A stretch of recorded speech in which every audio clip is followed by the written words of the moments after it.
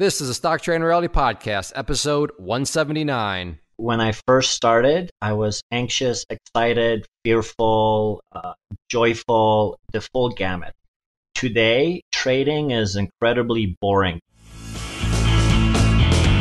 This is the Stock Trading Reality Podcast, where you get to see the realistic side of a trader's journey. Get inspired and stay motivated by everyday normal people who are currently on their journey to trading success. He uses math and statistics to ease his nervousness when flying. Clay Trader. Yeah, this also works out really well when it comes to, to snorkeling or scuba diving, mainly snorkeling uh, and sharks, but uh, which is kind of weird because it'll make some more sense as we go into the podcast. But we had a little discussion about sharks and great whites and all that. But yeah, I like to use stats. I like to use math to ease my nervousness when it comes to situations such as flying or shark attacks. So yeah, I mean, if there's uh, let's say 100 people ballpark out there snorkeling and it's my wife and I, it's like okay, well I got about a two percent chance that if a, a shark does attack, two percent, I like those odds. I will go snorkeling. And then you look at, of course, the flying statistics and I, am pretty sure it's like way safer than driving when you look at the math and statistics behind it. So I don't know if either of those situations make you nervous. I know flying does a lot of people, but just use math, use statistics. And when you look at them, you'll quickly realize, wow, I'm a, a lot safer up in the air than I am down on the roads. Um, Ches, who is our steam co host, by the way, uh, do you use math and statistics in this way to ease nervousness, or are you just not a very nervous guy to begin with?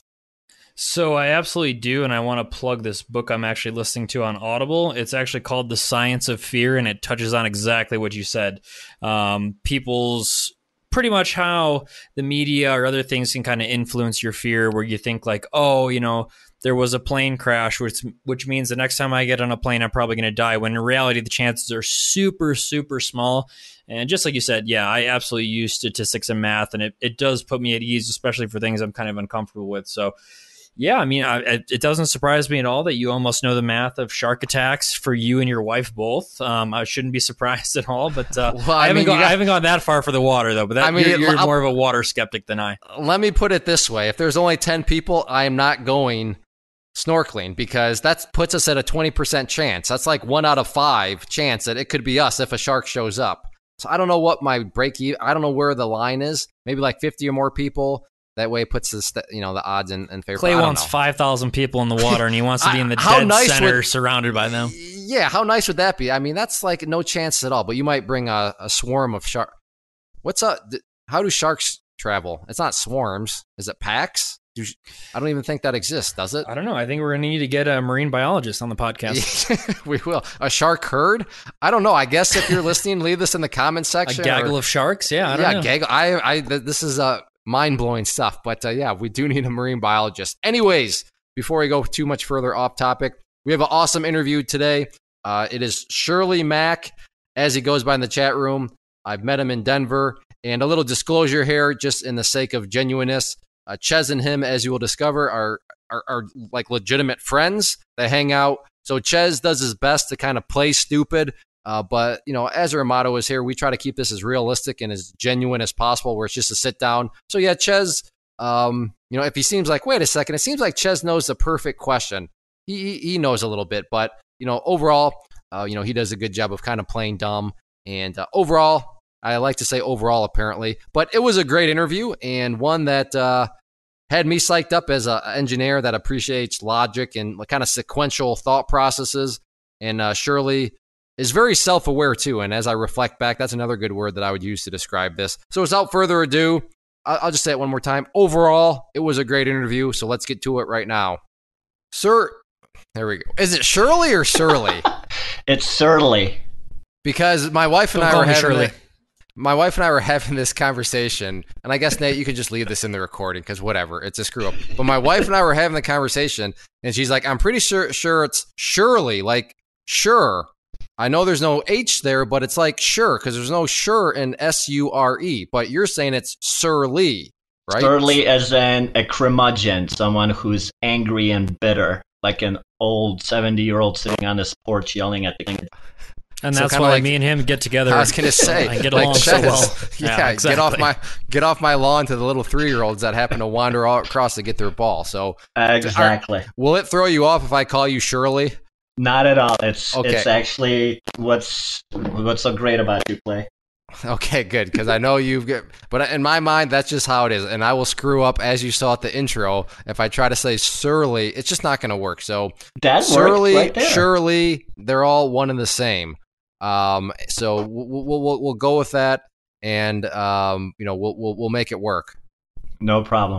But yeah, Shirley, welcome to the show. And um, I gotta my my first question has really nothing to do with trading or anything, but how is your Denver how to experience Denver the right way blog, book, miniseries? How is that coming? Because I, I'm telling you as listeners, or really anybody in the chat room, if you are going to Denver and you need something to do, ask Shirley. He will hook you up. When we went for the meetup, um, it was myself, my wife, and then uh, the producer IT Nate and his wife. And Shirley was like, "Hey, try that. Oh, you're look, do that." And you were like four for four, like you nailed it. So, how is your Denver travel blog, vlog, book coming? Well, I haven't given much thought, but since you bring it up, I might have to look into it. So I've been here what nine years in Denver, and I'm pretty much a foodie. So I get to explore different neighborhoods and have the experience of tasting different kinds of restaurants and stuff like that. Yeah, you absolutely nailed it. That Pol, I can, I remember what was the name of that Polish place? Kingas. That's right. Uh, that place was legit, and none of us had really had Polish food before. Uh, but uh, everybody left like, "Oh, Polish food is is actually super good." So uh, thank you for doing that. Yeah.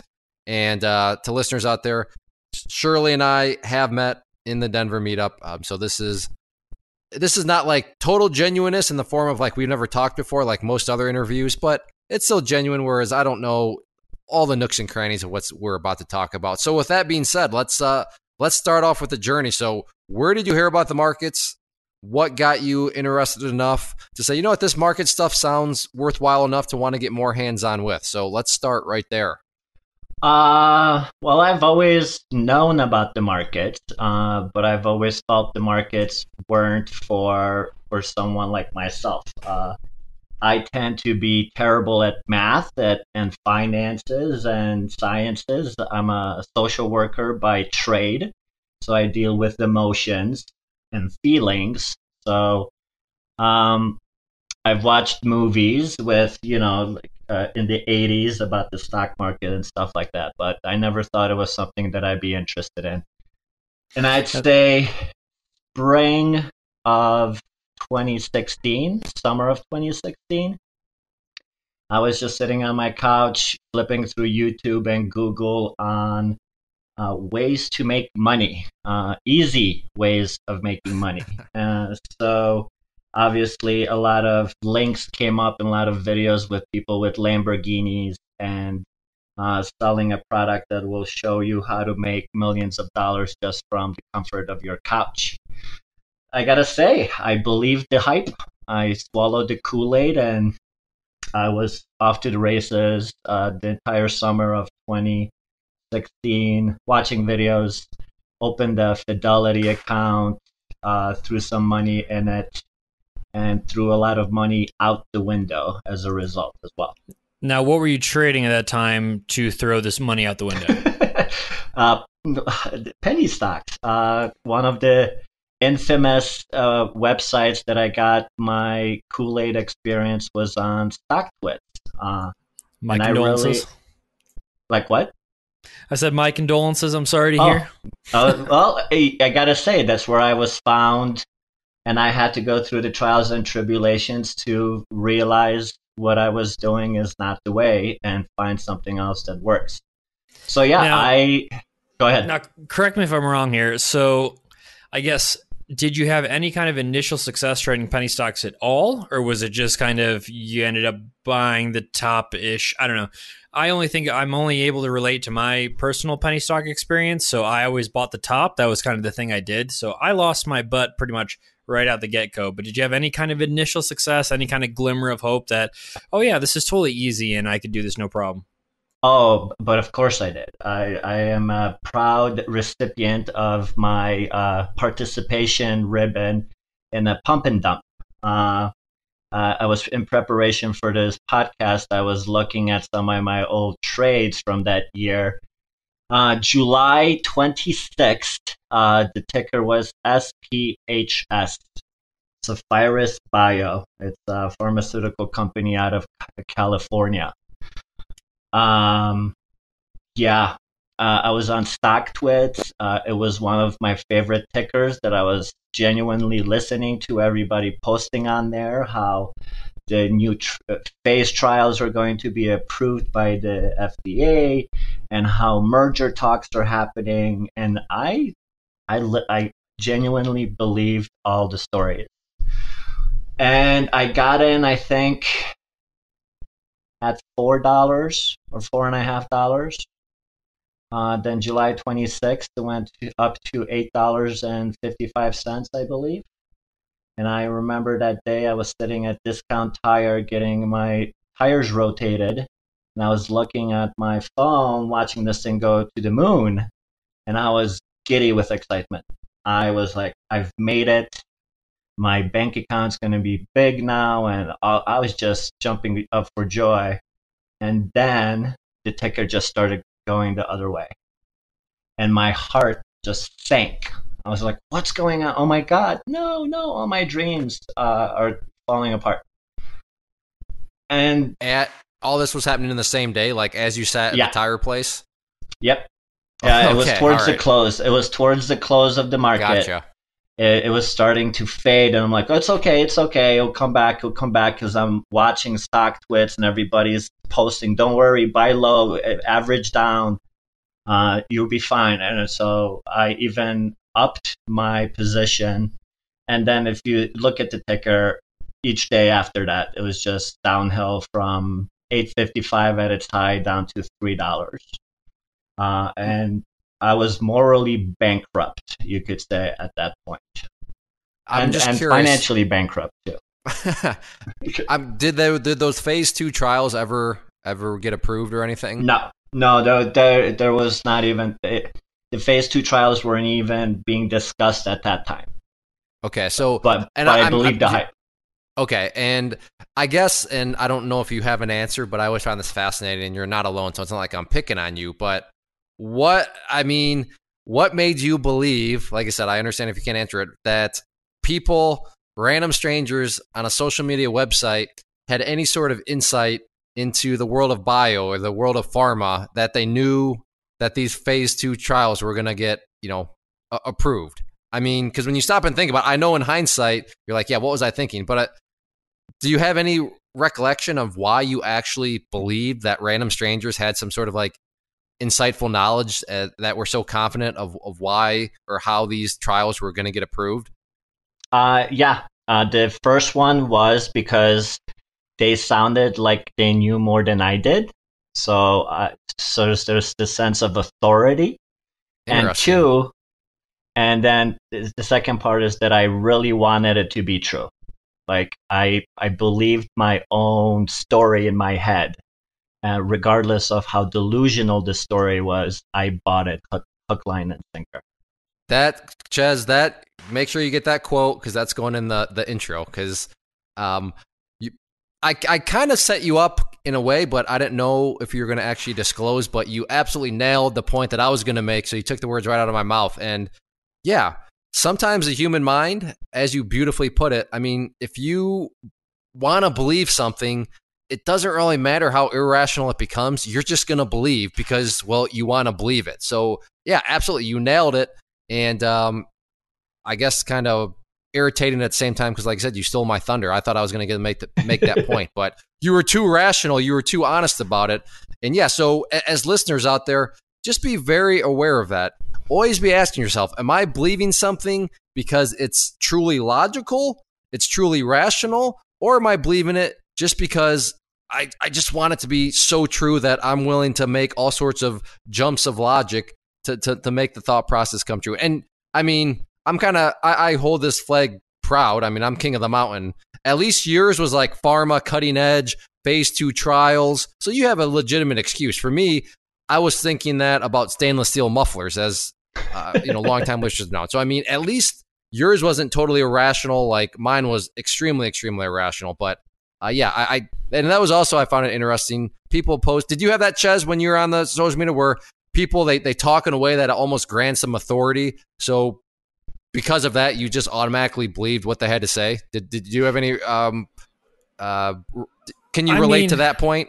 Yeah, I absolutely can. But this, I've I've had a just a recent epiphany in terms of like what does it take to call yourself an expert or something and just looking at somebody's Twitter profile and they're like expert in this or expert in so, that. I'm kind of like so... this is such a joke, but here's the thing. The mind is such a tricky thing in the sense that you will always look for things that confirm kind of your outlook or your bias. Exactly. Is that you're like, "Oh, he's an expert on StockTwits." Like I'm so happy that this expert is here to literally confirm my opinion. So, yeah, I absolutely did, but I think that I mean that that happens in so many different things in life too. But yeah, especially in trading, it's. Uh, but yeah, just recently I've been looking at people with the word expert in their profiles, and I'm like, oh, geez, I just yeah. So yep, I absolutely did the same thing. That's right. actually I never thought about that, but that is a great epiphany because literally when you think about it, We'll, we'll, we'll, assume that they're even just a one finger typer, so they're not like a super fast typer. But even in that case, it takes them what like three seconds to punch out expert and then hit enter, and all of a sudden to some people, like you said, oh, they're an expert all of a sudden. Oh, interesting. They, Been trading for three months. I'm a forex expert. I yeah. manage a hundred million dollars. I'm like, okay, let's uh, let's let's go back a little bit here. But yeah, exactly. It doesn't take much to type it into your profile. Yeah, that's and uh, it was always the guys that uh, that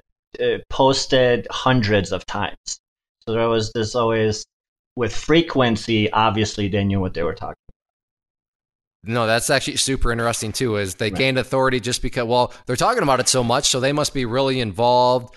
They must be. Uh, when in all actuality, they're probably the people that are either really underwater or they're the people that are currently sitting right on the offer and just waiting for somebody to to hit the offer, so uh, for somebody to buy their shares. But awesome, yeah. that was a great little sidetracked rabbit hole there. That's that's the name yeah. of the game. So all right, you uh, let's see, you were morally bankrupt, or you were morally I can't remember the way you put it, but your morale morally was, bankrupt and financially because I, that was the it was all the money that I, I I was able to put into the market. And I was devastated because I believed it so much that I it, I was crushed that it totally went against me. And so I still stuck with StockTwits and I I wasn't giving up although I didn't have any money to trade. And I kept on seeing your videos uh, in in StockTwits, and you were one of those experts that frequently posts. You know, so when I watched your videos, there was something different. You weren't uh, a showboat, or you weren't a braggart about your talents or anything. You presented information in a pretty dry and methodical way. I'll take that as a compliment. Excellent. And so it piqued my curiosity. And the other thing that piqued my curiosity was that everyone hated you um, on StockTwits. Uh, as soon as you posted a video, they were just like an army of people saying how this stock is going to tank now, and you have an army of shorters in Somalia, and all of these wonderful stories and I think this was September or late August, and I had this epiphany. Why would I not spend a hundred bucks and join this shorting army? I mean, this was my get rich quick scheme. That's the same sort of thought pattern that I had getting into this. Is if this guy really has a shorting army, why would I not make easy money by joining this army, whether it's legal or not? So September, I get on your website and I start chatting with Ches through the little blue box. And the first or second question out of my mouth is, "Are you guys really a shorting army? If so, how do I get in on it?" To which I promptly blocked him, and uh, somehow he got around our filters. It must have changed an IP or something, but. Uh, Yeah. Did I- you really, always Ches, find- or is, are you just joking around? No. I, I, I didn't. I did not block. Okay, I mean, because I wouldn't have blamed you No, if somebody no. was like, "Hey, I want to join the shorting army." I mean, I wouldn't blame you for the. Okay, so I wasn't sure. No, no. I, I like to open people's eyes and kind of talk about more about we, what we actually do here versus that. But um, yeah, I, I like to think I was pretty nice to you. I don't know. Did I come off No, too hostile? I, I, I'm not. I don't remember. I talked to people. you the were time. very professional, and you you challenged me. You said, "Look, uh, if you think we're a shorting army, or, or or if we're you think we're BS, and somehow one way to find out is to pay the ninety nine dollars for the inner circle if you're not ready to commit to the university." Pretty, you know, just a back and forth dialogue. And I said, you know what? I, lost uh, the thousands of dollars listening to StockTwit. What's another hundred dollars if I'm wrong? Uh, so I joined Inner Circle, and I quickly realized that you guys were nothing like uh, the people on StockTwit say you guys are. Uh, not like 180 degrees opposite of of what how you're described. Uh, everyone's uh, serious. Everyone is, um, you know, this is a business. This is how a lot of us make money. This is how a lot of us make a secondary income. This isn't about Lamborghinis. This is about uh, freedom of, you know, from financial burden. Uh, and there was, everyone had this tone of, we're happy to help you if you're willing to help yourself. Uh, and that's, you know, and it didn't take, I think, September is when I joined Inner Circle. And then I think it was no, early November when I joined the university. Uh, so, but it was about a month and a half of sitting in inner circle and just listening to like the old timers like Alex, Sean, Mr. B, Hooch, all these guys and girls talking about you know their journey and you know some people joining the inner circle and asking for alerts and or asking for tips uh, uh, this and that and it was like it's not so much that it's what's your entry what's your exit you know what time frame are you on? Where and so it was it, it became obvious that um, there's a certain level of of professionalism and in the inner circle especially during trading hours that was completely different than StockTwits. so that's kind of was the selling point the turnaround point that clay is serious about teaching me how to participate in the stock market period. Simple. And it was up to me to take that information and do with it what I what I chose to do with it. Either take it seriously or or you know mess around and just haphazardly take effort in. So I, I need to I need to commend you on your common sense logic that's apparently not very common to go back to well wait a second here so there's this guy who has a shorting army and like according to some people every single time he posts a video that stock is going down like every single time but i can join the shorting army for just a hundred dollars so if it goes down every single time and it's only a hundred dollars i'll make a lot more than that because this is like the holy grail mhm. so I, I I commend your logic, but it's amazing how many people throw out all these accusations, and you're like, do you realize what you're saying? According to you, you found the Holy Grail. So why are you not taking advantage of the Holy Grail? Exactly. And it, it, it goes back to the whole confirmation bias. And like you said earlier, it's like if people want to believe something, they're going to believe it in the exact way that fits into their belief system.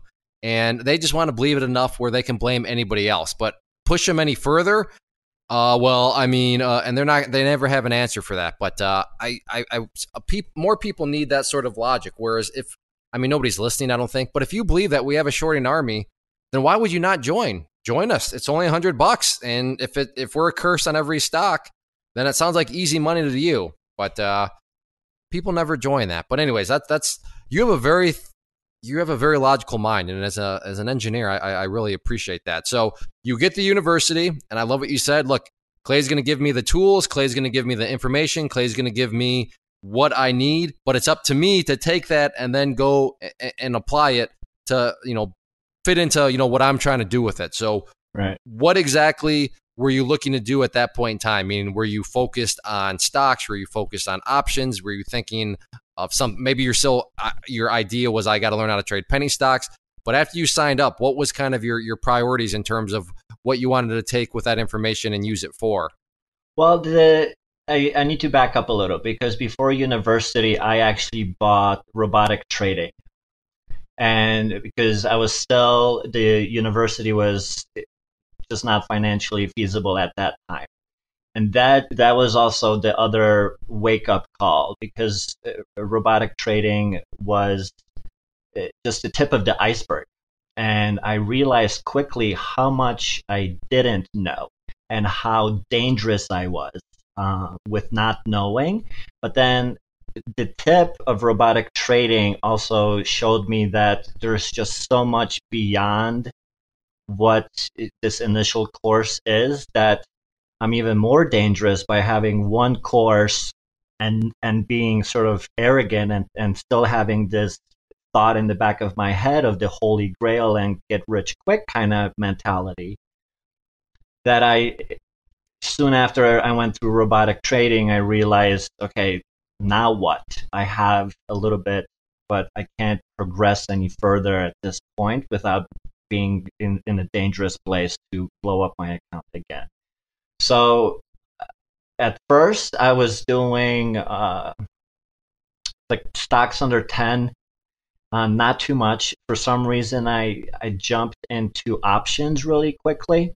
They, uh, I watched your uh, penny stocks on steroids, uh, and it just seemed like the better option to participate in tickers that are well traded, well established, you know, in the market and have sort of uh, stable liquidity. liquidity.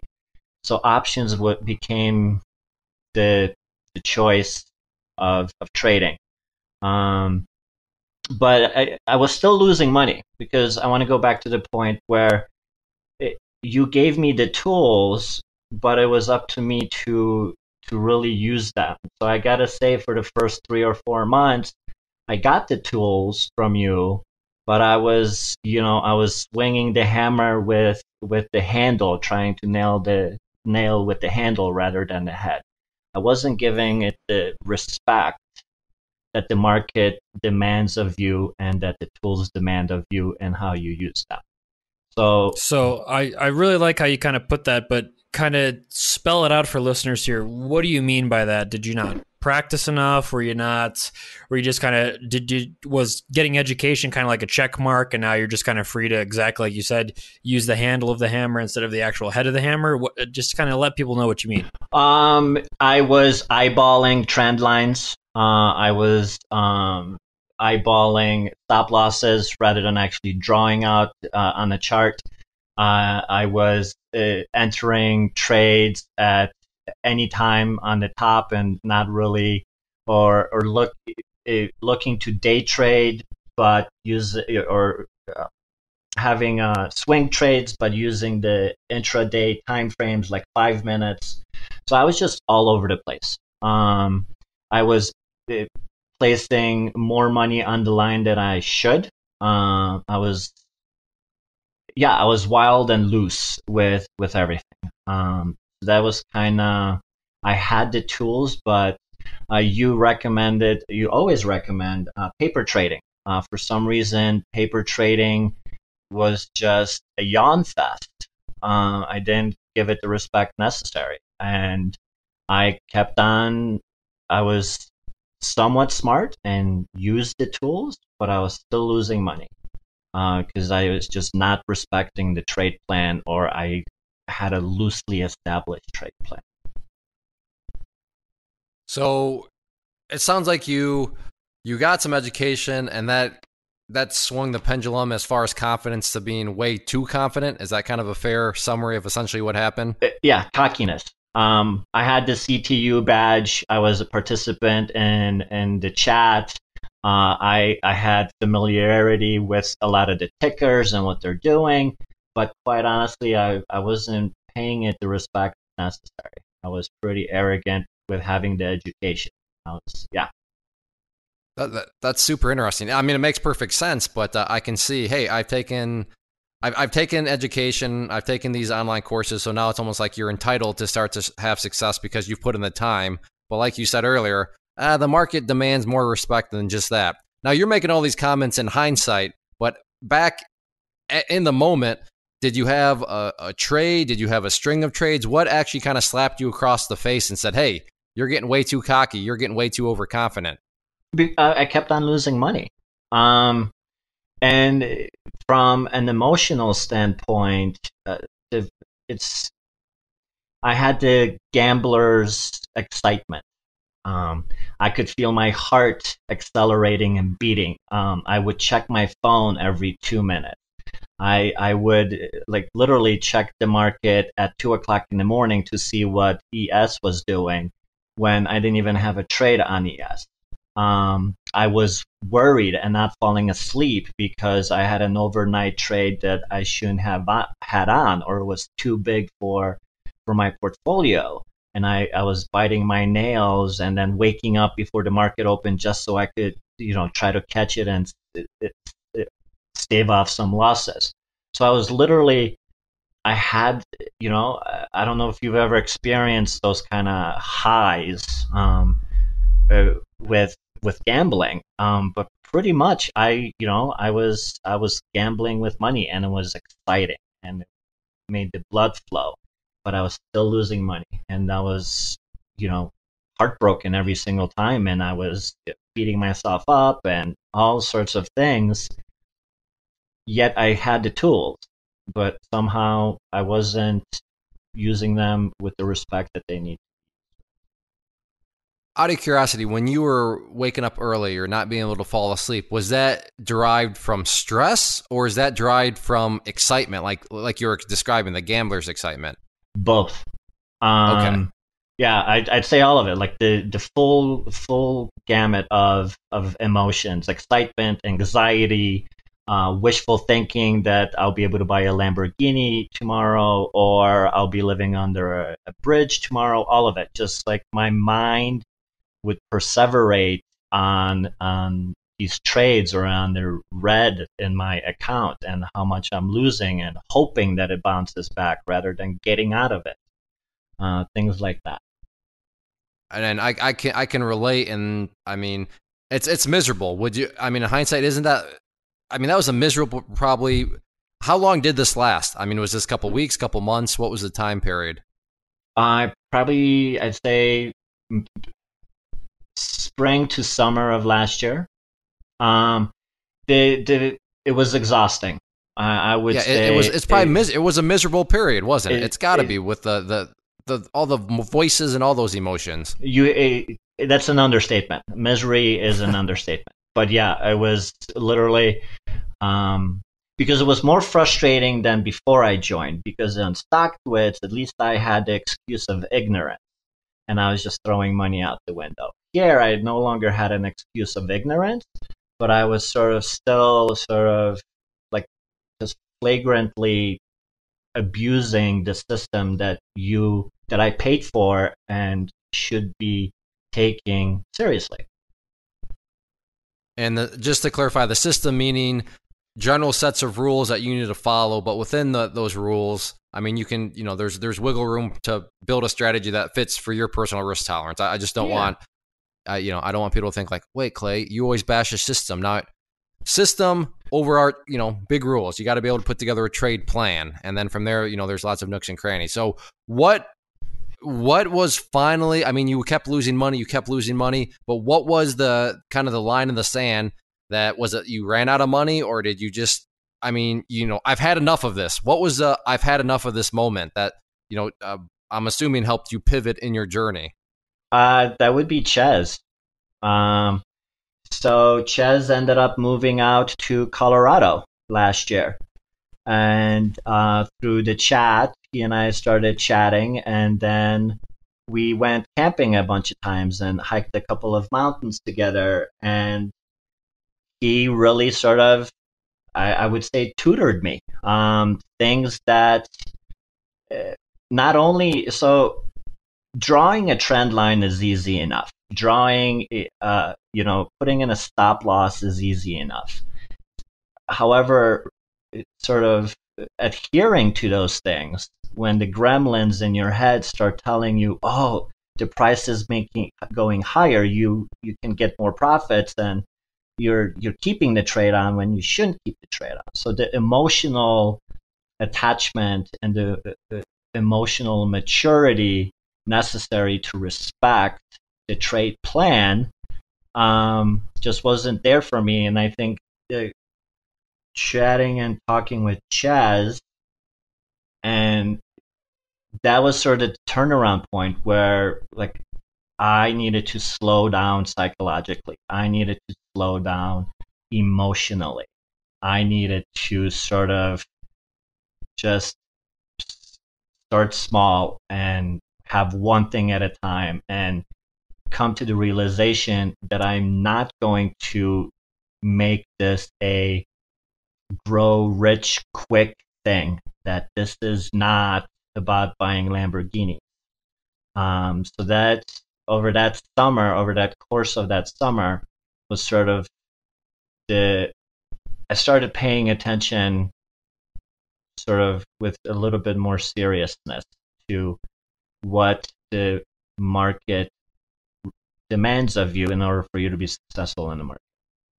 That's good stuff. Now, I knew that you and Ches were hanging out.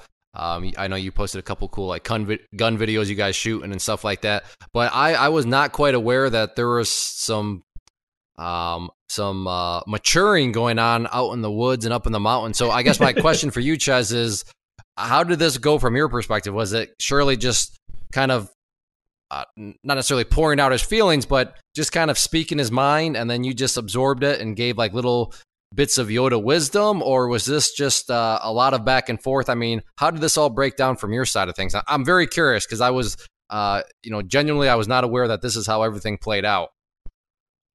Oh, I mean, he was crying the whole time. I had to kind of hold him in my arms and comfort him and stuff. Did you have to make him a no, s'more honestly, around the campfire? That's right. That's right. Yeah, that and uh, brought and some other stuff. Yeah. But yeah, so I think the the whole thing was is that Surly actually used to apologize. Like, you mind talking about this stuff for like as long as we did, and we just spent hours talking about trading. But the whole thing is that I've kind of been involved in this space for longer than him. So just exactly what he was saying right there is I was kind of like, you know, this is uh this is the long game. Like it's not something that's going to come overnight. Um, I get it that whole quote, you know, you only need to get rich once, whatnot. I'm like, we don't play, you know, the game of lottery tickets. I mean, you're more than welcome to do that if you want, but and then I just kind of talked about my strategy and advanced options and stuff like that. Slow and steady wins the race. So um, to me, it was absolutely no problem at all because I love talking trading and I usually have nobody else to talk with it, you know, outside of our chat room or Twitter or something else like that. But um, at the same time, you know, it didn't feel like any kind of work to me, not only because I like talking about it, but at the same time, Surly was opening my eyes to kind of all the camping opportunities and stuff. So while he was, he might be learning something from me, I was learning a bunch of stuff about Colorado because I had just gotten here. I think I met Surly maybe four months after I moved here. So I really didn't know anything about it. So to me, it was totally like a mutual type thing. And like I said, I, I always like talking about trading, so it's never a big deal. Yeah, who knew you had like the best tour guide in Denver or the state of Colorado at your fingertips? Um, so oh yeah, that, right from the get go yeah, too. That, so that sounds like a win win combination, and usually that's where friendships oh, yeah. are formed if uh, each person can complement one another. Now, surely Ches brought up he was telling you about advanced options. So um, correct if I'm wrong, but is this where your interest in advanced options sparked from in, at this junction in your journey? Yeah, um, I would say for, I had some interest in advanced options because of defined risk. Uh, I think one of my difficulties when trading emotional response is having undefined risk. Um, you know, I'm I'm I've only been trading probably for the, going on two two years now. Um, so there's the biggest lesson for me is more the emotional and psychological, less so the technical aspect of trading. Um, but with advanced options, sort of the it, it's it's safe. Uh, it feels safe to have a defined risk trade on because I know right from the get go the max amount that I can lose. Uh, and so I can decide whether that's the tolerant, whether I can tolerate that loss or not. uh, and preemptively. So before I even put on the trade, I know how much I'm going to lose. Should I? Should the trade go again? Absolutely, and it's not the reason why I kind of got involved in in trading kind of short options and spreads and stuff like that was the same exact reason. Um, it's not that we don't trust ourselves; it's that I know if absolutely everything goes haywire, two sigma summer, whatever you want to call it, uh, it's I know the max amount I can lose. And when I kind of tell people this, sometimes they're kind of baffled. They're like, "What do you mean if something moves against you know fifty dollars, you only lose you know two hundred bucks or whatever?" And I'm it's pretty much as simple as it's all about how you structure stuff. So that's what appealed to me. Um, I kind of I think I kind of talked, I definitely talked about this around a bonfire with you, but that was kind of my first introduction to the benefits they have. And then at the same time, I'm like, I just kind of know it's a numbers game. The Greeks are all pretty much you're you're looking at it from like a casino standpoint. You kind of get to to look behind the door and see what other kind of quote unquote, we'll go back to this experts term again, whatever the market makers and everybody is kind of pricing in for moves. So to me, I was like, I, it kind of is an advantage. By no means am I going to hit, you know, multiple thousand percent winners being long an option at earnings or something if you really catch a break. But at the same time, I'm like, I can make, you know, 30% in a year that the fund managers would kill their mothers for having a return like that. So I was like, that's, so that was kind of the things that I really enjoyed about advanced option. I'm just glad that you kind of enjoyed it too. But yeah. I know you definitely kind of started dabbling more into it. But correct me if I'm wrong. Didn't you find some initial success trading spreads, and then um, did you have some setbacks and you took a little break and came back, or am I wrong? Well, it's a so last year was more of a flat year where I had successes and then I had losses. I mean, I think the one of the biggest uh, lessons, one of the biggest uh, learning things that I, I did last year was uh, you have time.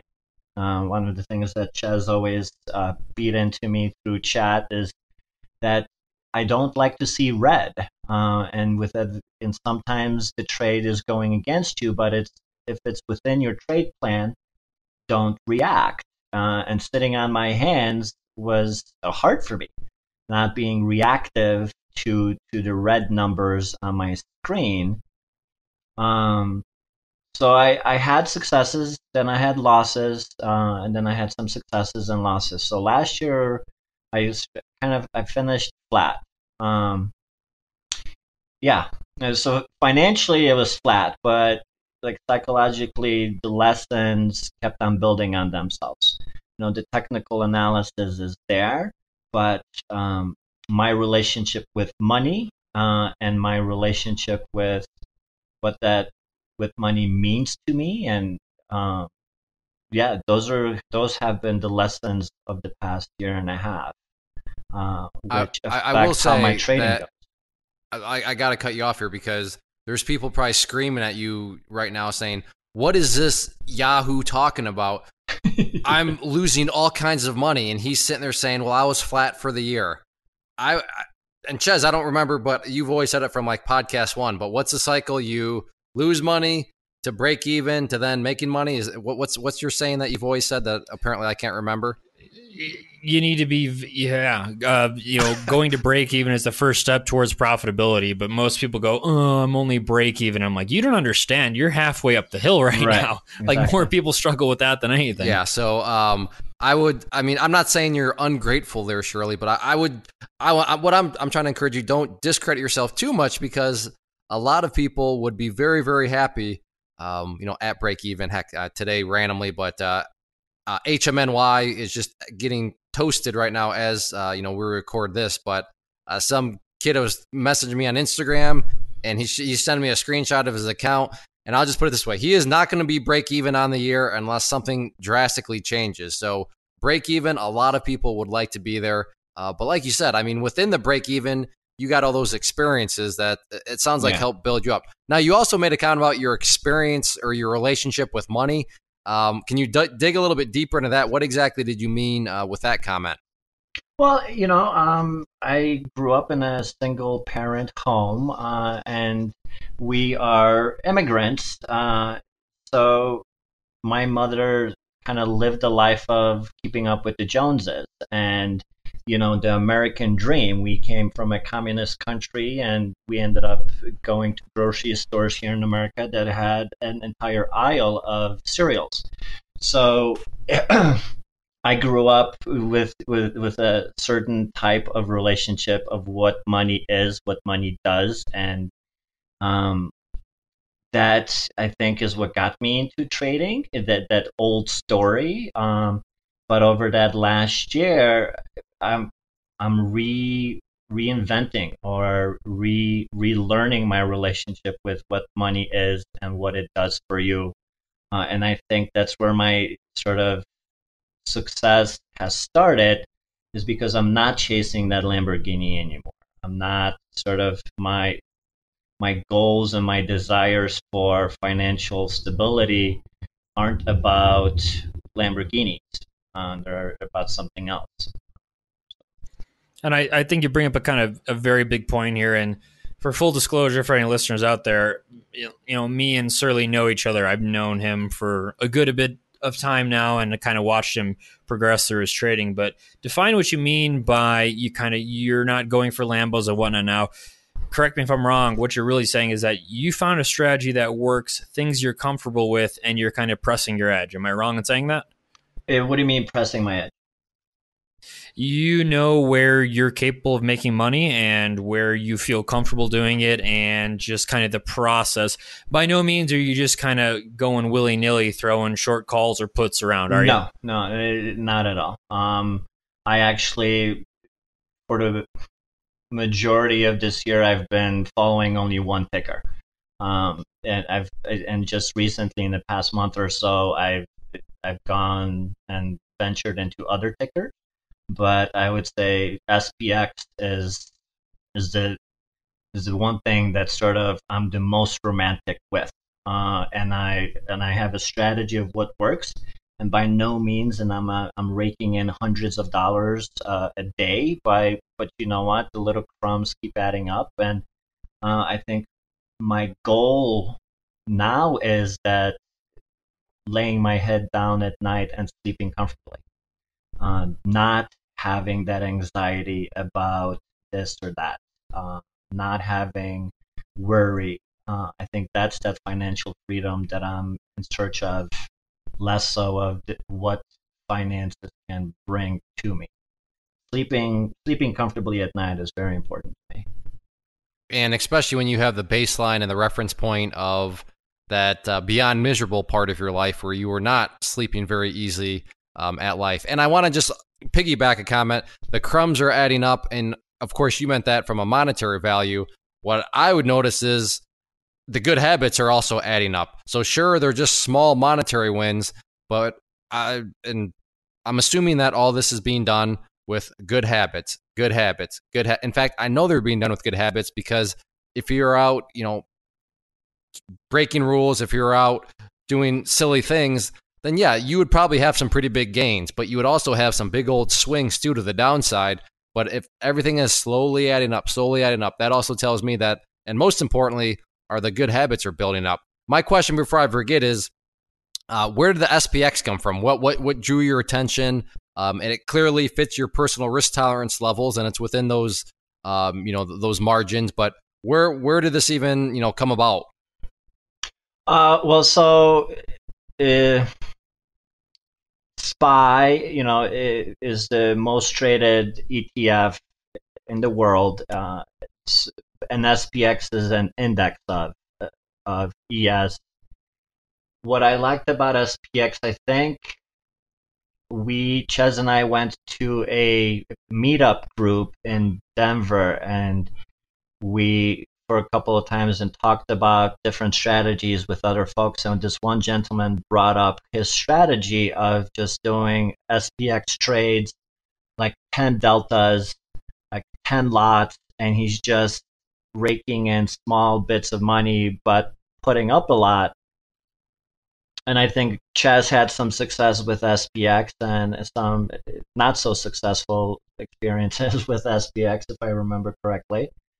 Uh, it's definitely been a love hate. I'll give you that. uh, but the thing is that the biggest thing for me that it takes away is that it's cash settled.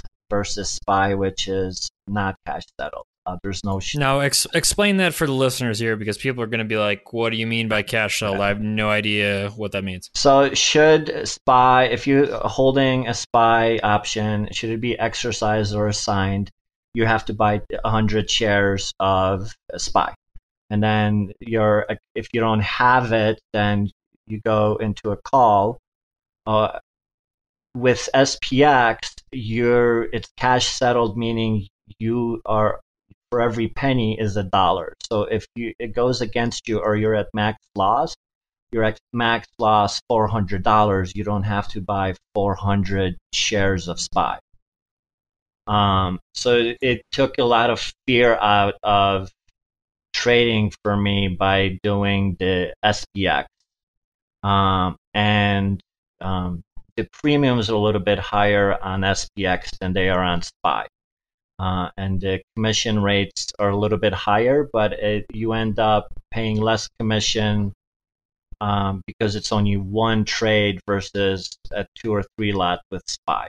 Uh, there's also tax advantages to SPX.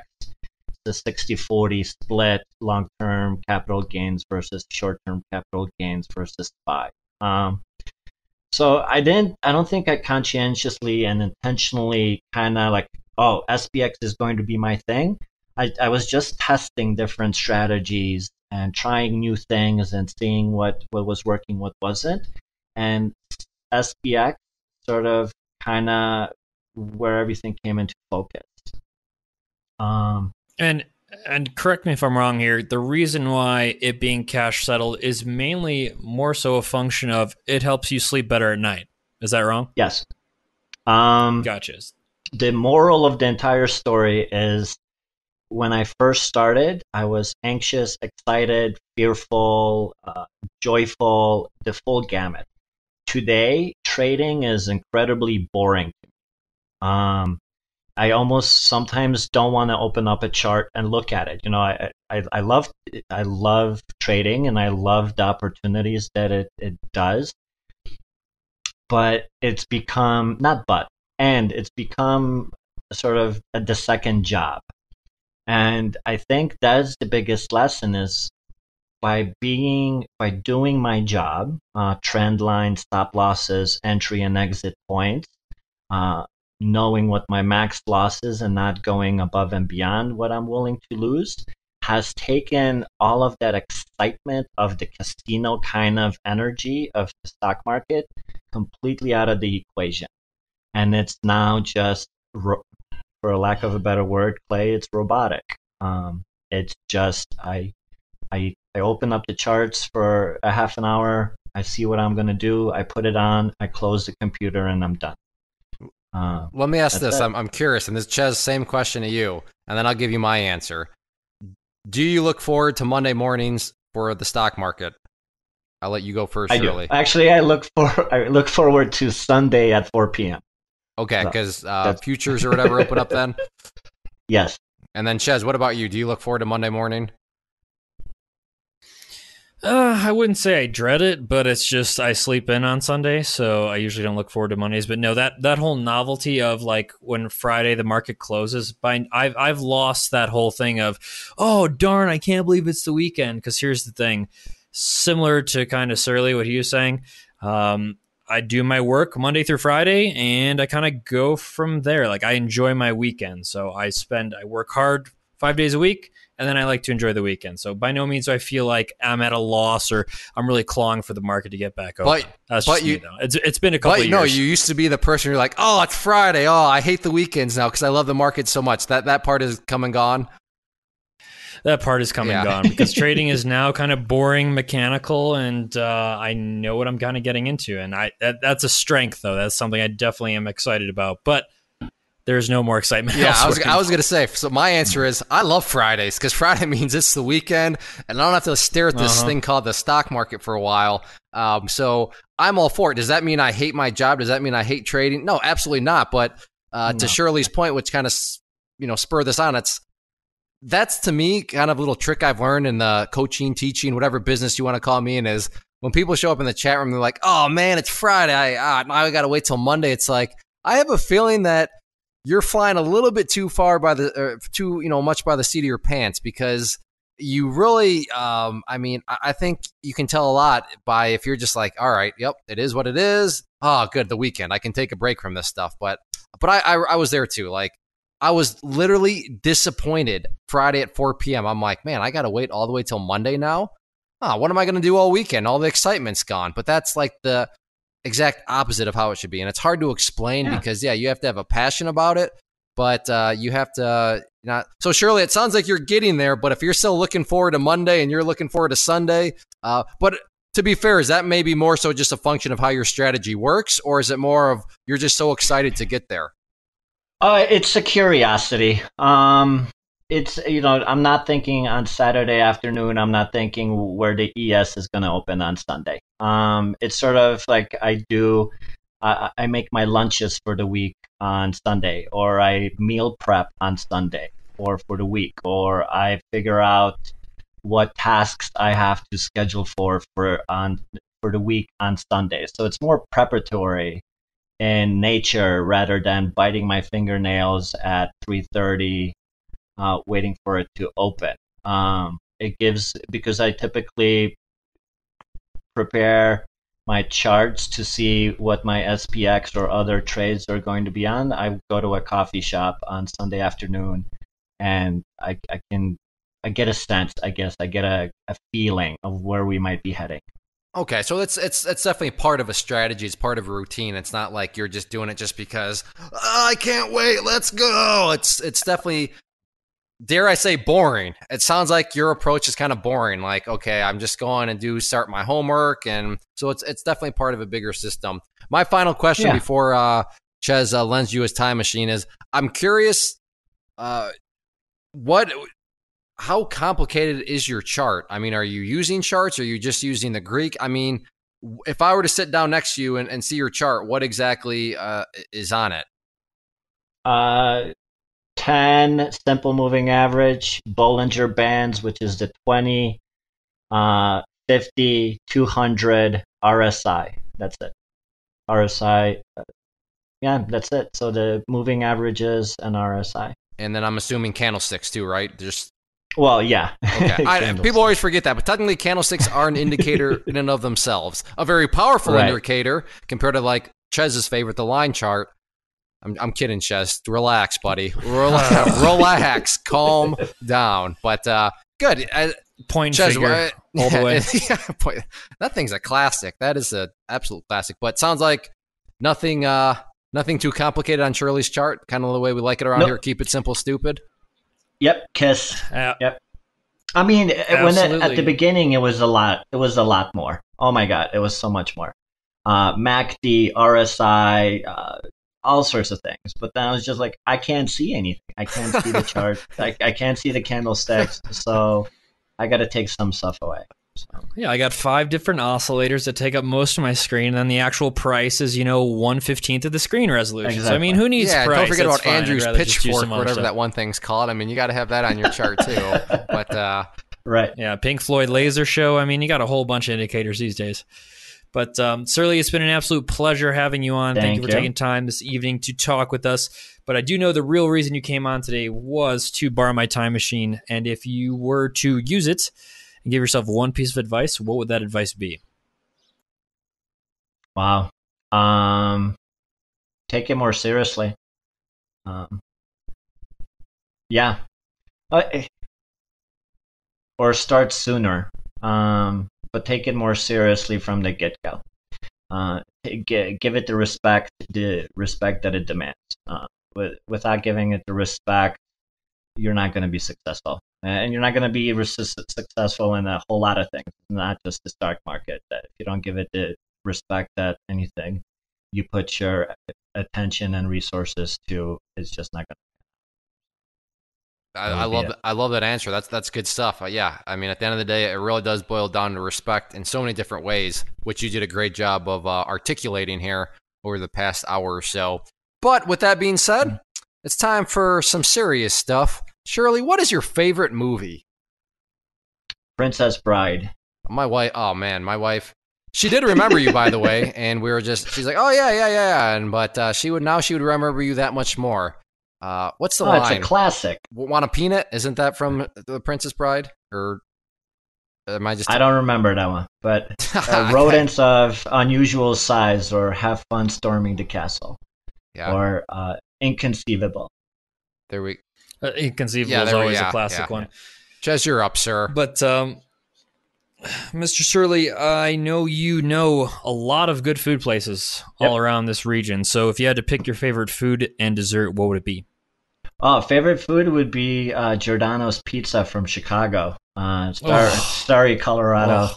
But the good news is that uh, actually Giordano's is opening up in uh, in Denver, downtown Denver this summer. So Well, guess I guess I'm selling my house. Yep, Giordano's pizza would be favorite food. Uh, favorite dessert. Uh, what? Oh my god.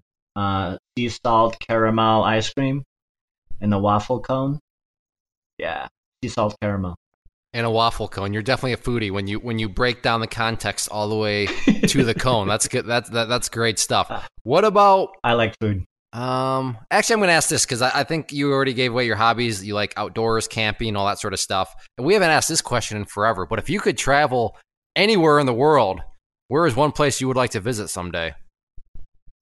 South Africa to do some uh, scuba diving with great white shark. Yeah, you're a psycho. I was going to say, why would you go to South Africa and then you bring up scuba dive? And I'm like, don't you know about the great white sharks? And then because you want to you want to scuba dive with the great white sharks. So uh, don't invite me on that You're trip. I will. Clay, uh, right? yeah, I will. I will. I Oh. will pass. It's in a cage. You Hard will be safe. So Haven't you ever seen movies where the cage breaks? I mean, I've watched plenty of. Clay as an engineer is checking the tensile strength of the so locks and all this other stuff. checking Yeah. the welds, all that good stuff. minor details. I could think of worse ways of, of dying than being eaten by a shark. Uh, I mean, I can too, but still, I, I don't think it's a very pleasant one. But uh, regardless, we won't go down that path. Um, like I said, thanks again for taking time Yeah, out of your no problem. But if you had to pick three words that you think define successful trading, what would those three words be? Uh, uh, respect, patience, uh, and community. There you go. I like that because the community is uh, is very important. It's one that'll, uh, yeah, build you up when you need to be built Yeah. up, keep you humble, Yep. smack you across Yep. the face if you need to be smacked across the face, and uh, that's so yeah, that's that, that's a really good word for sure. Because trading can be a lonely business. Um, if you Yes, allow it to be, some people strive under that, and that's cool. But I, I've really learned I like to shoot the breeze and just uh, have a community component.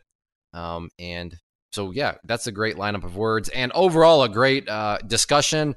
I'm a little jaded and a little bitter. I don't know what took you so long to get on here, but I appreciate you finally reaching out to us. Uh, as always, that makes our life much easier. So I thank you for that, and uh, we'll have you back one way or the other, whether you like it or not. But I, I'm, I'm excited. I like you. You're a good guy. You're a great tour guide. Thank you. Uh, so I, it, it's it's refreshing. It's uh, encouraging, and yeah, it's just awesome that uh, sure the crumbs you're making, but the crumbs are adding up. But most importantly, Yes, the good habits are adding up, whether you want to realize that or not. But that's okay. When good habits build up, good habits don't care what you think; they're habits, and b- before you know it, it sounds like it's already becoming a routine and a very boring routine at that, as we already discussed. So Right. good stuff, Shirley. Will you come back again? Absolutely. All right, perfect, perfect. Well, Thank you for having me. you are you are more than welcome.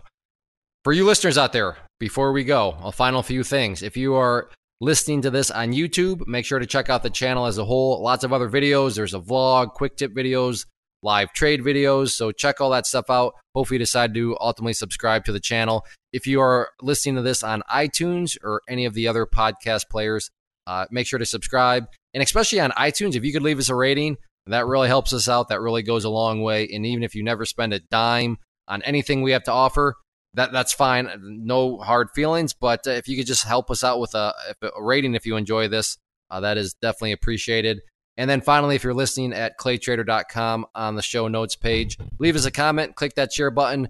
We will read them. We will uh, reply back, and uh, we, we, we try our best to be as interactive as possible, especially when it comes to feedback and suggestions and all that good stuff. So thank you again to Shirley. Thank you again to our esteemed co host, Ches. And thank you as viewers. We will see you back next week. This has been the Stock Trading Reality Podcast. Thanks for taking the time to hang out. To learn more about Clay and the Clay Trader community, including the trading team, premium training, and more, visit claytrader.com.